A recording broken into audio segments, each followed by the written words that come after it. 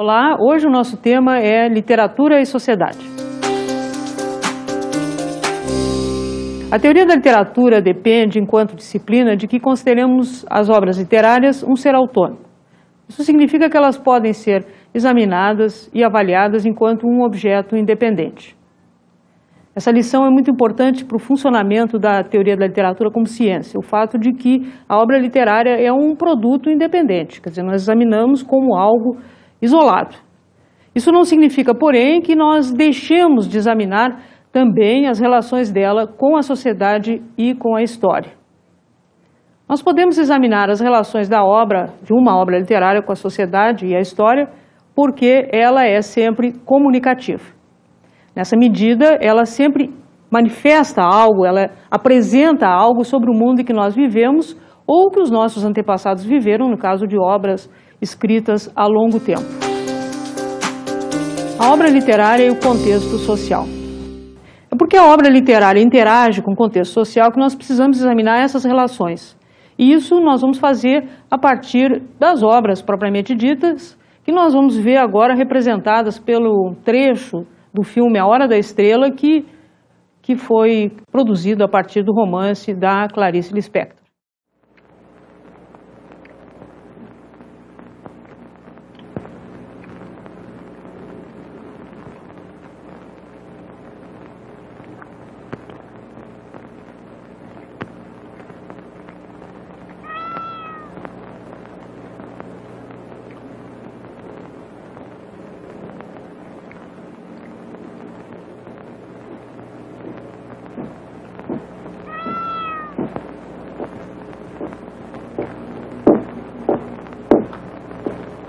Macabé. Desse jeito não dá. Olha aqui, tudo sujo, cheio de furo, gordura para todo lado. Desse jeito nós vamos ter que despedir você. Seu Raimundo, o senhor me desculpe o aborrecimento.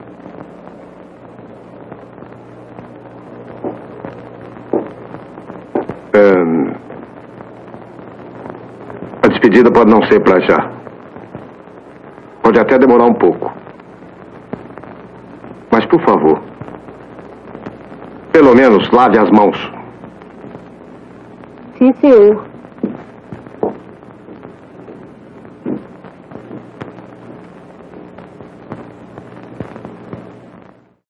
A Hora da Estrela é um romance escrito por Clarice Lispector que narra a história de Macabeia, uma moça que vem do Nordeste para o Rio de Janeiro tentar a vida lá. Ela é pobre, ela é muito simples e por meio da sua trajetória nós temos um contraste entre a vida uh, na grande cidade e a formação dessa moça que é bastante precária dada a sua origem social.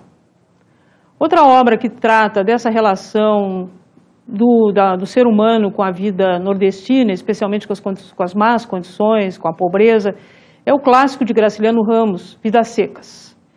Ah, como nós sabemos ali, o tema é a migração de Fabiano e sua família, sua mulher e seus filhos na direção de uma região em que eles possam levar uma vida mais digna, em que ele possa educar os seus filhos e assim por diante. Tanto A Hora da Estrela, quanto de Clarice Lispector, quanto Vidas Secas de Graciliano Ramos tratam diretamente de problemas da sociedade brasileira, ou pelo menos de um segmento da sociedade brasileira, aquela mais pobre, e de uma região brasileira que é o Nordeste, ou o confronto entre o Nordeste e o Sul. Nas duas obras, a desigualdade econômica é o centro da narrativa e ela provoca as necessidades das personagens de buscar um novo lugar de trabalho, um novo lugar para morar, enfim, de melhorarem a sua vida. Tanto o Fabiano de Vidas Secas quanto o Macabé de A Hora da Estrela não superam a pobreza dentro da qual nasceram. E a apresentação da sua condição e do esforço de superá-la permite que o público tome consciência imediatamente de uns mais terríveis e constantes problemas ou mazelas na nossa sociedade. Nem sempre, porém, essa representação é tão nítida, tão evidente, permitindo que o leitor imediatamente faça essa transposição da obra para a realidade.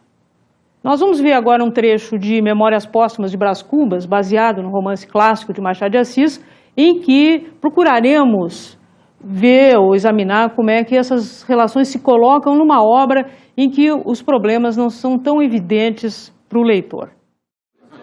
Eu gostaria de estender esse brinde ao senhor Brás Cubas, que muito me honra com o convite que acaba de aceitar. Eu anuncio que ele será o meu secretário de governo.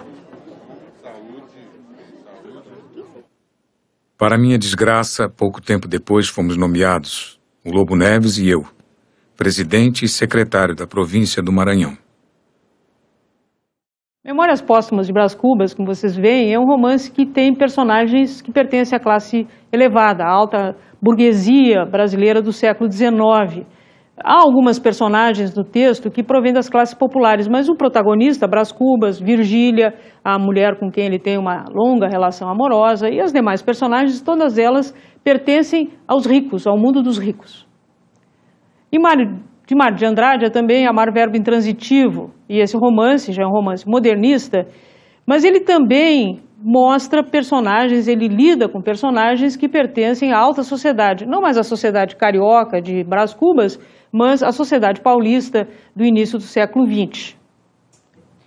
No romance Memórias Póstumas de Brás Cubas, a narrativa vem da voz do, do, da própria personagem principal, o narrador é o protagonista. E ele vai contando tudo que se passa ao longo do século XIX nesse meio elevado ao qual ele pertence. Ah, o romance de Mário de Andrade, Amar Verbo Intransitivo, também tem esse contexto similar. Né? Quer dizer, a ação se passa no interior da família Souza Costa, uma família enriquecida dentro do âmbito da sociedade paulista do café, do início do século XX, da São Paulo que se urbanizava naquele momento. É esse grupo ascendente que contrata uma professora estrangeira, Elsa Fräulein, que é contratada para que o primogênito, Carlos, tem uma educação sexual saudável, né? ela é a iniciadora sexual do jovem. Nós estamos falando uh, de romances, como eu disse, que se passam no âmbito da, da alta sociedade brasileira, com seus hábitos característicos. É claro que Brás Cubas, Machado de Assis em Brás Cubas ironiza uma série de comportamentos da alta sociedade, fala muito fala do adultério, mostrando inclusive a hipocrisia vigente, a maneira como as pessoas, uh, hipocritamente, como eu disse, escondiam certos, vamos dizer assim, certos procedimentos que não eram recomendáveis. Também o Mário de Andrade faz isso, porque ele apresenta dentro de uma família uma família tem um marido, a mulher, os filhos, essa situação em que o rapaz precisa ser iniciado sexualmente por uma pessoa hábil, de modo que também fossem mantidas as suas aparências. Vocês podem perceber que são romances que, embora se passam no nível elevado da sociedade, problemas econômicos não se apresentam. Mas, de qualquer forma, questões sociais ali estão evidentes. São essas questões sociais discutidas pelos textos que mostram as relações, o diálogo, vamos dizer assim, que o autor procura estabelecer com sua época, com seus leitores, com seu público, com seu tempo. Né? Mesmo que não tratem de pobres, tratem de ricos, mesmo que não tratem de dominados e sim de dominantes, eles de alguma forma se posicionam. E pode-se ver que os escritores, inclusive, têm uma atitude bastante irônica ou paródica diante desse mundo representado. Né? Quer dizer, nós lemos, talvez até identifiquemos perto de nós essas atitudes e temos condições de entender ou de patentear as relações da obra com a sociedade. Isso não acontece necessariamente em todas as obras que nós lemos, nem todos os romances ou contos ou novelas explicitam de modo tão evidente a sua, vamos dizer assim, aquilo que eles querem evidenciar do universo situado fora do campo ficcional. Mas, de uma maneira ou de outra, esse contexto emerge, esse contexto dentro do qual a obra foi elaborada, ele aparece. Né? Isso significa que a teoria da literatura precisa tomar uma providência a respeito disso. A sociologia da literatura foi a área dentro da teoria da literatura que se encarregou, vamos dizer assim, dessa tarefa, de pensar as relações entre a obra e a sociedade. Né? A teoria da literatura abriga, portanto, a sociologia da literatura, em que é um campo metodológico, científico, um campo, vamos dizer assim, epistemológico, em que as questões relativas às relações entre a obra e a sociedade são discutidas, seja em obras em que isso é evidente, em que se trata da pobreza ou da riqueza, como é o caso dos livros citados, seja naquelas em que isso não é tão claro, tão explícito para o leitor, mas que precisam ser identificados.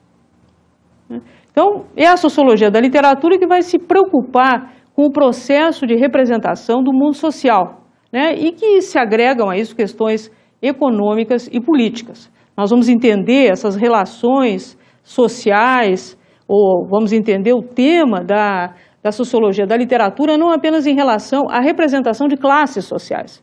Elas estão ali presentes, né? nós estamos falando de alta burguesia, classe média, o, o operariado, ou no caso do, dos romances como de Graciliano e de Clarice, dos segmentos uh, da, de trabalhadores rurais, assim por diante. Né? A questão social está ali presente, mas a sociologia da literatura ela vai se preocupar também com os, as, as correlações com questões políticas, ideológicas, inclusive, e econômicas. Teses marxistas. Quando o século XIX começou, a Europa se deparava com as consequências da Revolução Francesa.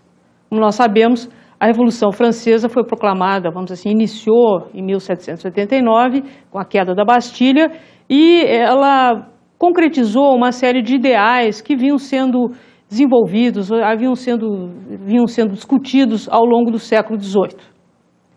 Um desses ideais, ele é expresso por um filósofo suíço, mas que viveu boa parte na França, chamado Jean-Jacques Rousseau. E o Rousseau se destacou por um dos seus livros chamado Contrato Social. Nesse contrato social, ele discutia as amarras do homem à sociedade, o modo como a sociedade se construía de forma a, vamos dizer assim, privar o homem da sua liberdade. E ele reivindicava justamente o contrário, o direito à liberdade. Então, o contrato social significava uh, um novo arranjo da sociedade de modo a que essa liberdade fosse obtida, fosse alcançada.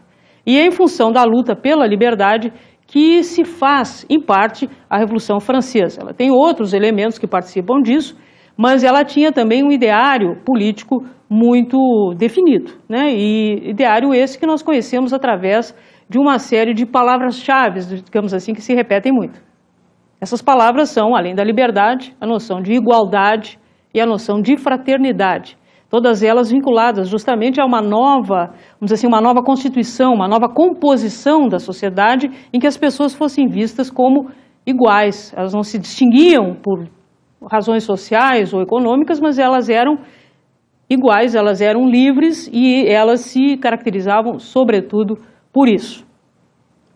Os revolucionários franceses vamos dizer assim, uh, diante desses ideais, portando esses ideais, procuraram derrubar oligarquias feudais que se mantinham ainda vivas no século XVIII, na França, e desafiavam o imperadores e reis, enfim, um, um, uma concepção de Estado que se caracterizava pelo governo absoluto de um imperador ou de um rei e que determinava, vamos dizer assim, as vontades individuais. Então, ao mesmo tempo que se, se propunha uma outra organização da sociedade, se propunha também uma nova estrutura do Estado em que houvesse maior participação das pessoas, uma participação mais democrática, vamos dizer assim.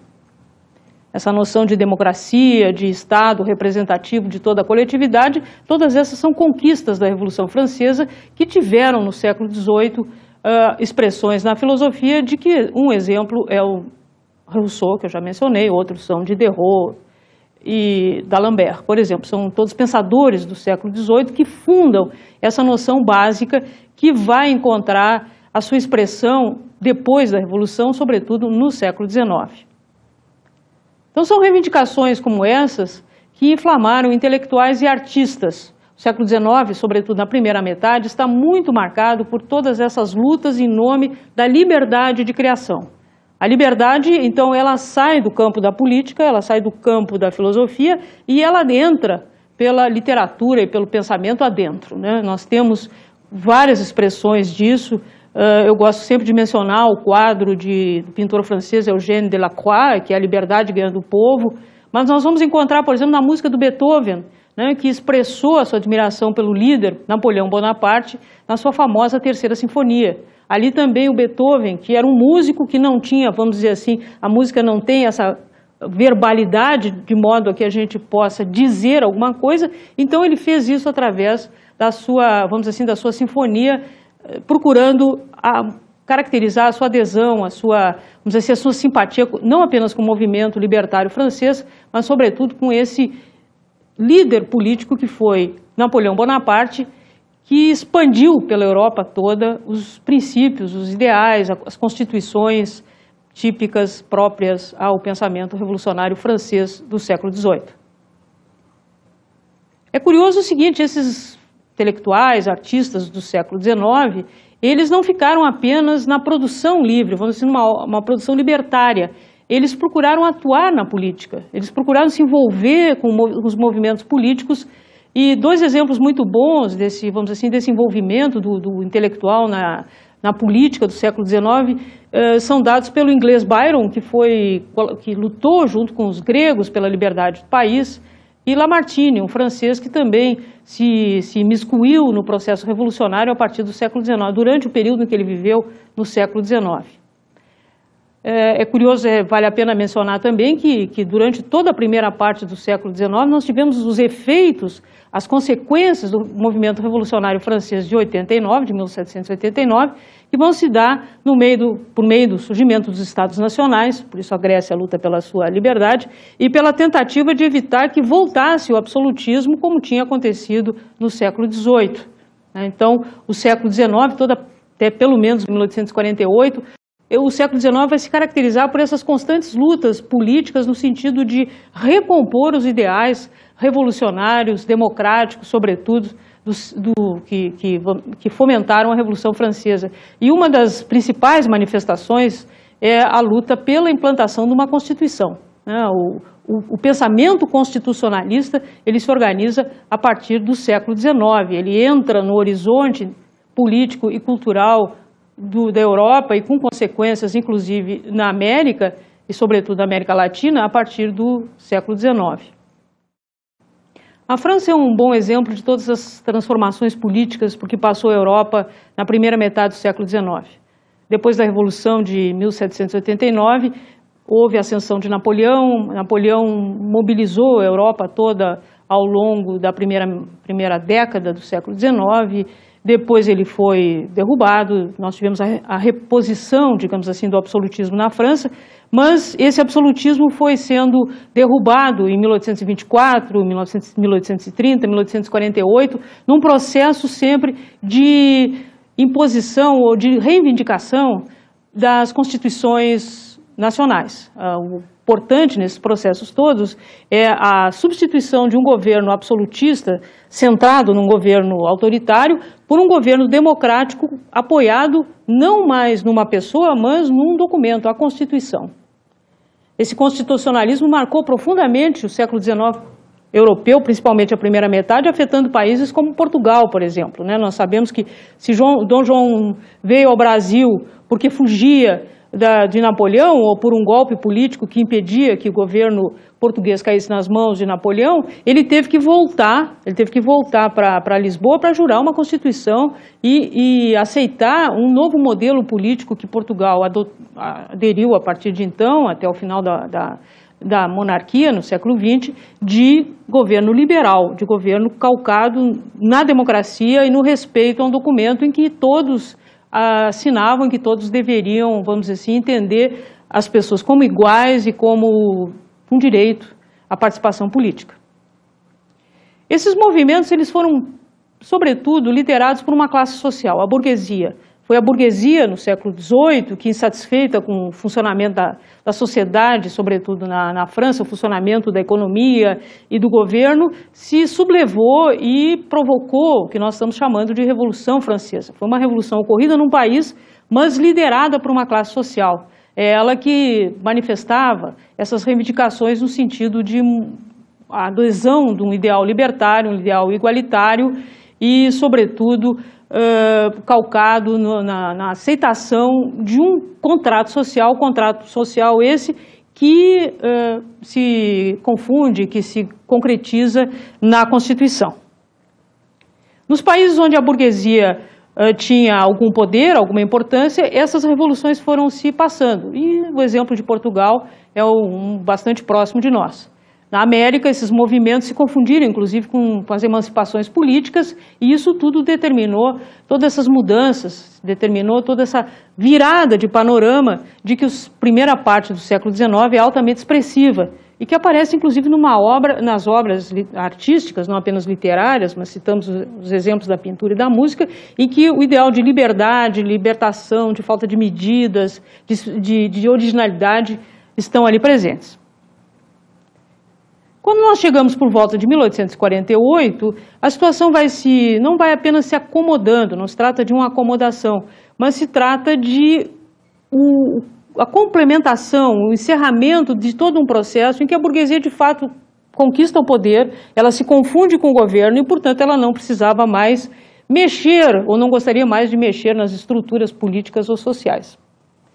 Acontece que a, a, base econômica do funcionamento da burguesia europeia era a revolução industrial, era a indústria, né? E a indústria se desenvolve desde o, as grandes indústrias se desenvolvem a partir do século XVIII na Inglaterra, no século XIX nos países da Europa continental. E isso determina o aparecimento de uma outra classe social, né? o operariado, essa classe que até então não tinha uma expressão muito independente, muito clara, mas vinha aos poucos englobando um grande número de pessoas em países industrializados. Né? Os países industrializados se caracterizavam, então, por, pelo fato de que a economia dependia da exploração de, de produtos industrializados, da produção e exportação desses produtos, e, ao mesmo tempo, da consolidação de uma classe social que será a, o operariado, uma classe que nós podemos comparar a outras em períodos anteriores, mas que tem a sua, vamos dizer assim, a sua identidade muito clara, sobretudo a partir da segunda metade do século XIX.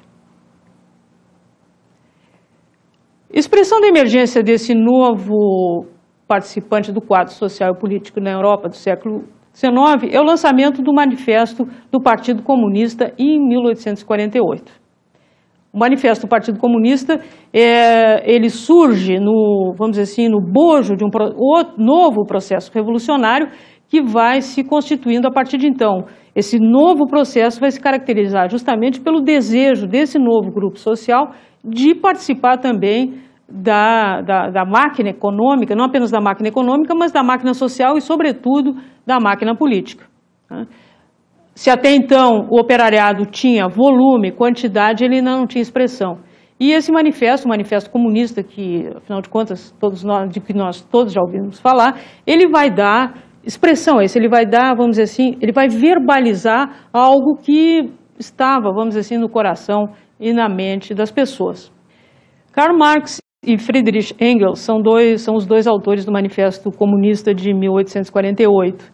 Eles já eram militantes de movimentos de esquerda, mas não tinham ainda a, a expressão, o reconhecimento e até a popularidade que vieram a ter na sequência, na sequência da história do pensamento marxista. Mas, se eu estou falando de pensamento marxista, eu já estou, de certa forma, qualificando a importância, tornando um adjetivo, né, por isso qualificando, a importância que terá um pensador como Karl Marx no decorrer da história contemporânea. Nós vamos ouvir agora um trecho do hino da Internacional Socialista, porque foi um movimento político que passou a expressar nesse desse período em diante as, os desejos e as aspirações da classe operária. Somos o povo dos ativos, trabalhador forte e fecundo, pertence à terra aos produtivos. Ô oh, parasita, deixa o mundo. Ô oh, parasita que te nutres do nosso sangue a gotejar se nos faltarem os abutres, não deixa o sol de fulgurar. A Internacional Socialista será esse, assim, essa primeira expressão de um partido de uma classe social, não um partido de uma ideologia ou partido de, uma, de um grupo ou partido de um país, mas é o partido de uma classe social. E esse hino procura expressar justamente essa unidade entre os operários de todo o mundo. Né? Quer dizer, o operário não mais é a figura relacionada a uma nação ou a uma economia, mas sim a uma, uma, uma situação social que ele compartilha com os operários de outros países, de outras nações, de outras regiões, em suma. Marx e Engels foram, portanto, homens políticos. Eles começaram vamos dizer assim, a, a, se evidenciar no plano internacional e no plano político a partir da sua prática, da sua ação. Mas eles também foram homens de teoria, né? eles também foram pensadores. E eles redigiram uma série de obras que vão configurar aquilo que nós chamamos o pensamento marxista. Né? Como o pensamento marxista é um pensamento fortemente envolvido com a prática, com a praxis, né, que valoriza muito, eles nunca deixaram de lado essa dualidade, né? homens que pensavam a realidade, refletiam sobre ela, mas ao mesmo tempo procuravam pôr em prática os seus ideais.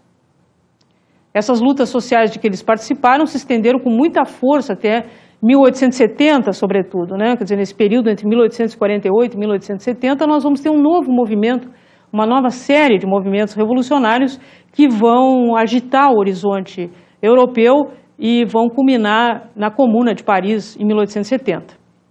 Mas, se Marx e Engels eram homens de pensamento e procuravam refletir sobre uma série de questões, eles não deixaram, é claro, de se expressar também, de colocar seu, as suas ideias relativamente à arte e à literatura.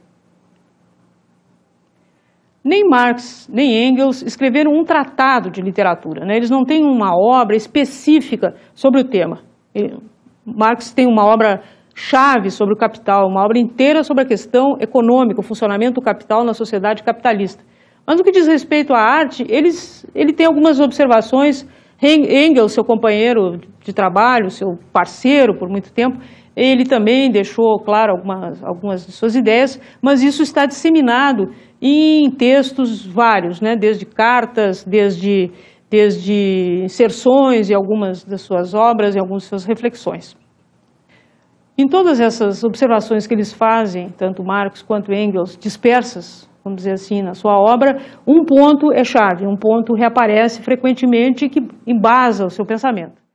A arte reflete a sociedade. A noção, como vocês veem, de que a arte reflete a sociedade.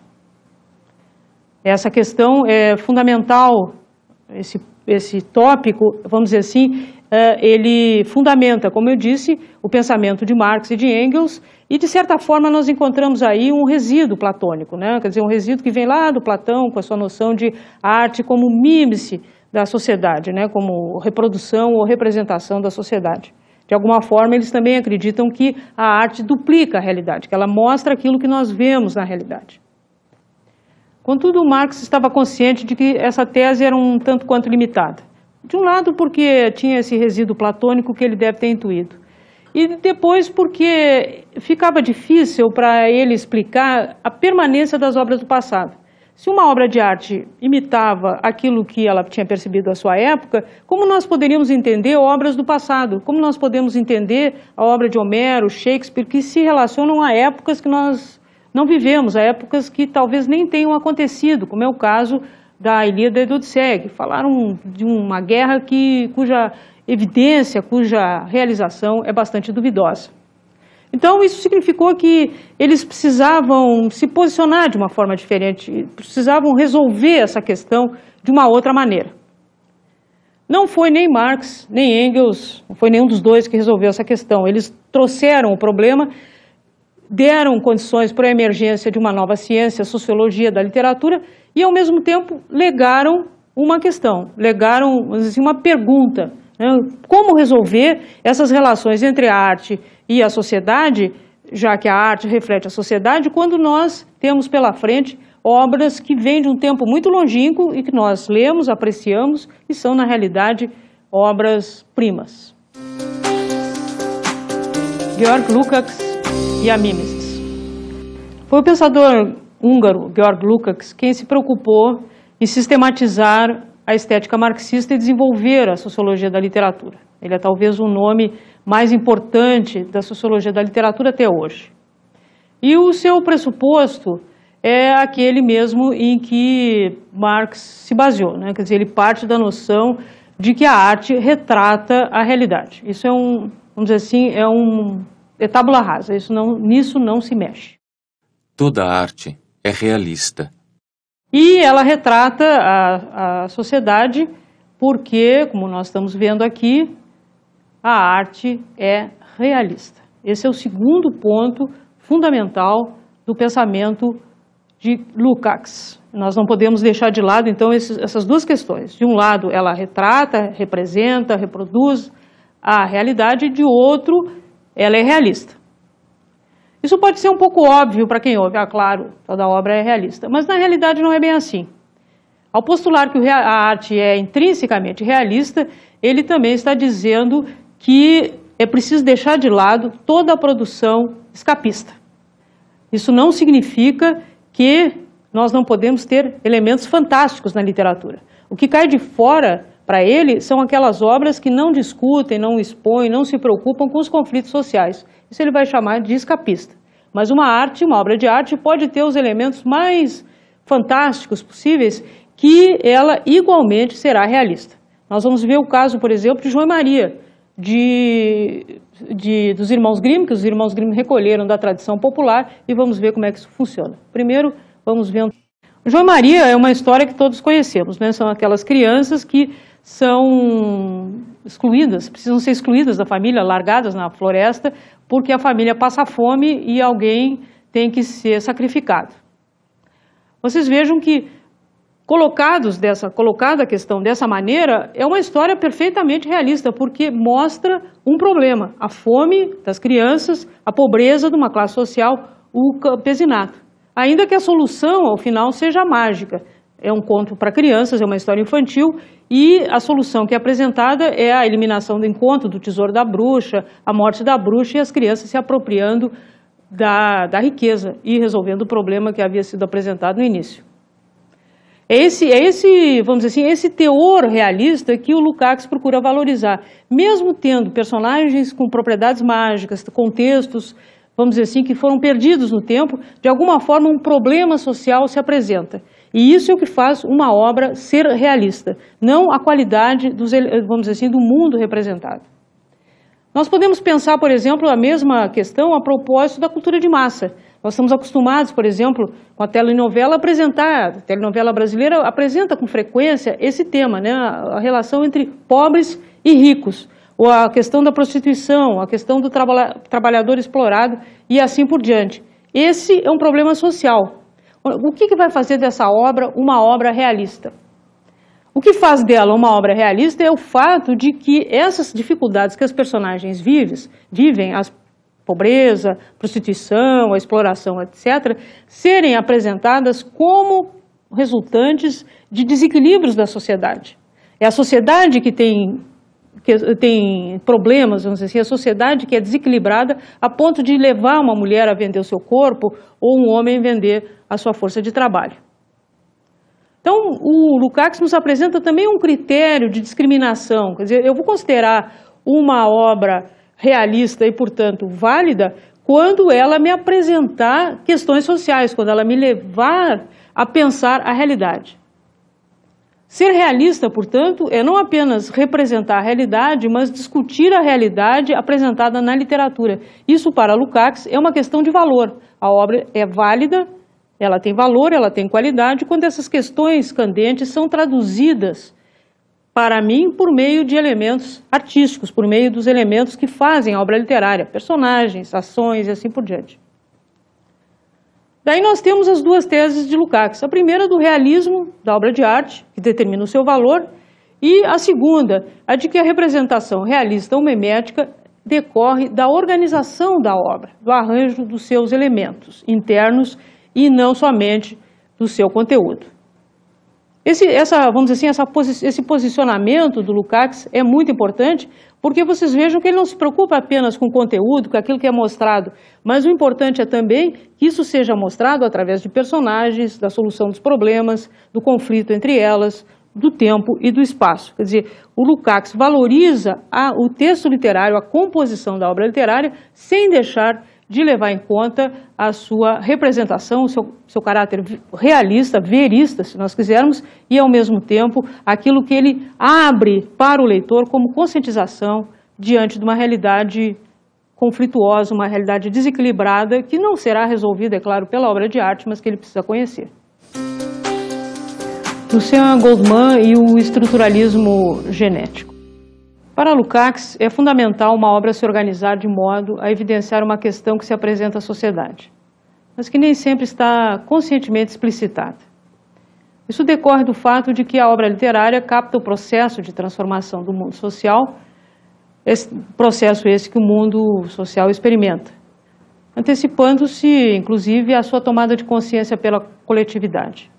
Toda obra de arte é revolucionária, segundo Lukács, justamente porque ela funciona como uma espécie de antena que aprende uma mutação enquanto essa acontece. Isso é importante porque a obra de arte, ela parece que está sempre à frente do seu tempo. No entanto, nem sempre a obra de arte expressa de um modo tão claro a transformação que está acontecendo. E nem sempre também a proposta metodológica do Lukács, ela pode ser utilizada, ela é válida para uma circunstância, pode não ser válida para outras. Esse, vamos dizer assim, essa lacuna que a proposta metodológica de Lucien Goldman, que ele denomina estruturalismo genético, ajuda, porque ela permite descrever essas situações, digamos assim, mais abrangentes, que dizem respeito ao envolvimento da obra literária com o mundo social. Vamos ver como funciona essa, pro, essa proposta metodológica de Lucien Goldman a partir do romance Senhora, de José de Alencar, que publicado em 1875. O romance Senhora foi publicado em 1875 e ele fala de uma história de amor, né? uma história entre a moça Aurélia e o rapaz Fernando. Uh, a Aurélia havia sido rejeitada por esse Fernando porque era pobre e com o tempo ela enriquece e pode então casar com ele.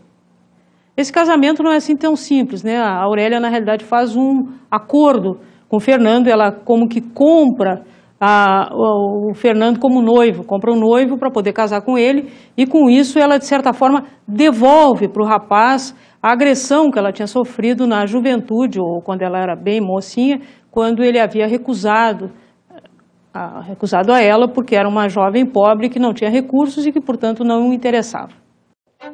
Proferidas as últimas palavras com um acento indefinível de risão, a moça tirou o papel que trazia, passado a cinta, e abriu-o diante dos olhos de Seixas. Era um cheque de 80 mil cruzeiros sobre o Banco do Brasil. É tempo de concluir o mercado. Dos 100 mil cruzeiros que o senhor avaliou, sim, já recebeu 20 mil. Aqui tem os 80 mil que lhe faltavam. Estamos quites e posso chamá-lo meu, meu marido, pois é este o nome de convenção. A história é uma história de amor, né? Uma história de amor porque depois que a que a Aurélia compra a, o casamento de Fernando, a, vamos dizer assim, ela compra o, a mão de Fernando e ele casa com ela, ela revela para ele o que, o que tinha feito, que tinha feito isso como um negócio, tinha mostrado que ele era uh, venal, que ele podia ser comprado. O Fernando, então, entra em brios, né, se sente ofendido e recompra sua liberdade. Ele vai trabalhar, junta o dinheiro necessário e, então, compra dela a sua liberdade.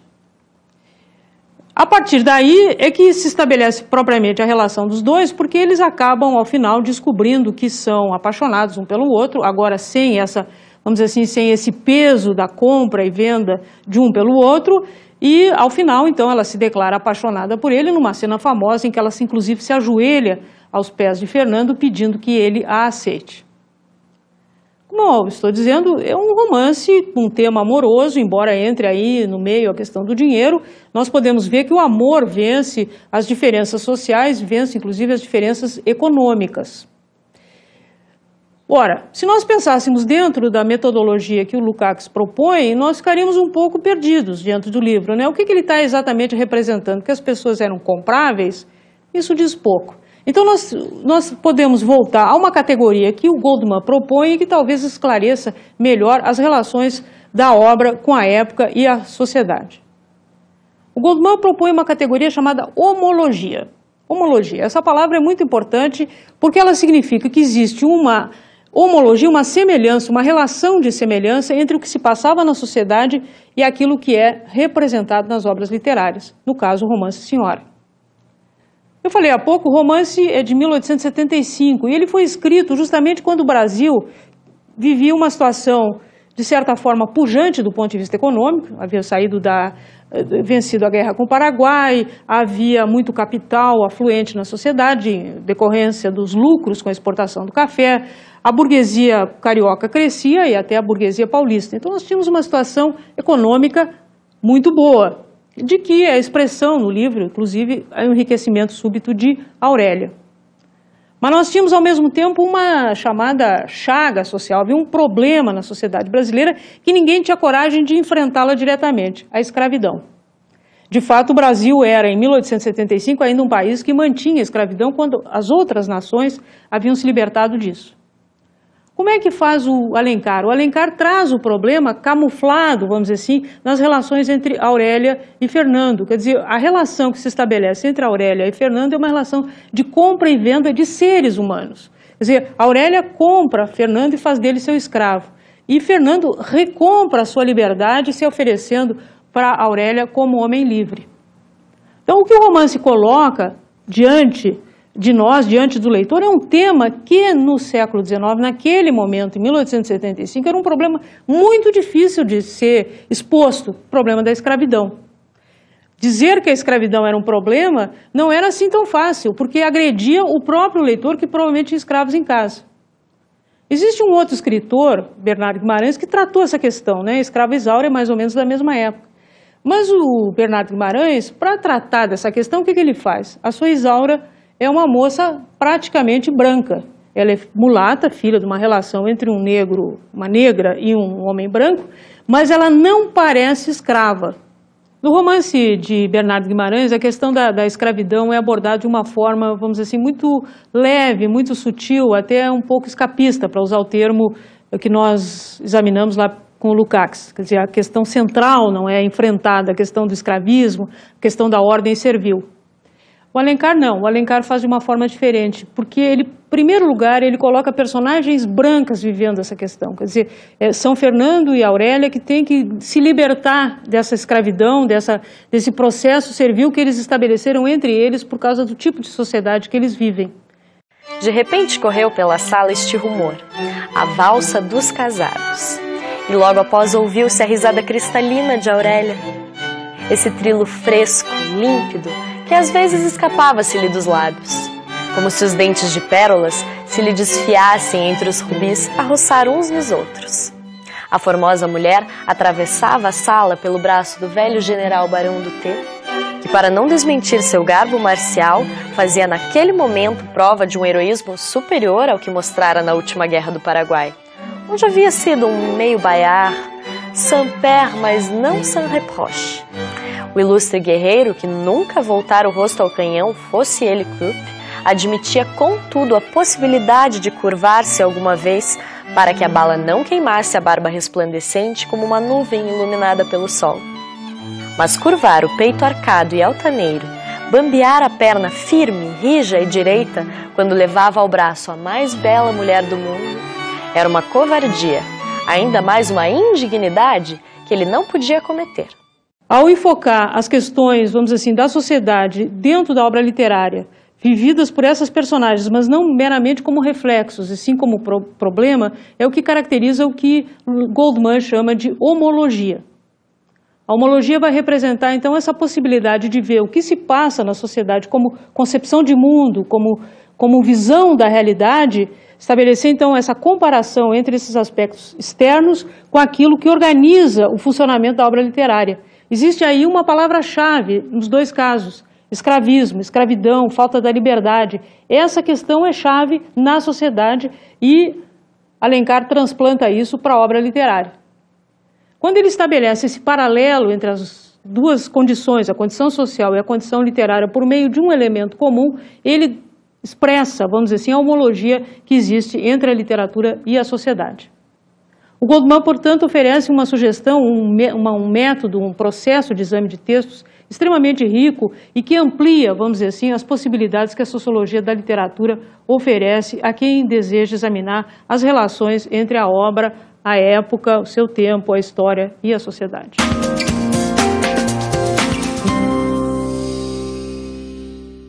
Em A Sociologia do Romance, Lucien Goldman desenvolve e apresenta vários exemplos do que nós estamos chamando aqui de estruturalismo genético. Ele explicita as suas teorias, a sua metodologia e examina a obra do grande escritor francês André Malraux. O livro está publicado pela editora Paz e Terra e traduzido, portanto, para o português.